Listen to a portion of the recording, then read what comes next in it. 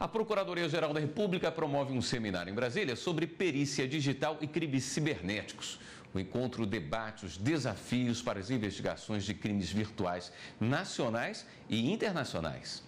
O seminário reuniu o público interno do Ministério Público Federal e externo, como peritos, integrantes de órgãos do sistema de justiça, autoridades, estudantes e servidores que atuam no combate a crimes cibernéticos. A abertura ficou por conta da secretária de apoio pericial do Ministério Público Federal, Procuradora Regional da República, Elizabeth Kobayashi. Hoje em dia, na verdade, não só na parte de crime cibernético, mas de todos os crimes, seja tráfico internacional, terrorismo, todos os tipos, a gente precisa de cooperação técnica. A gente sabe sabe que os bandidos eles se organizam e atuam internacionalmente. Então nós, autoridades que atuamos na persecução do crime, a gente também tem que se organizar e se unir para poder é, combater esse tipo de criminalidade. O principal objetivo do evento foi qualificar peritos especialistas em crimes digitais, o combate ao cybercrime, as maneiras de atuação da perícia digital do Ministério Público Federal e a tecnologia da informação brasileira para desvendar um crime virtual foram discutidos junto com as práticas práticas para coibir delitos como tráfico de drogas, de armas,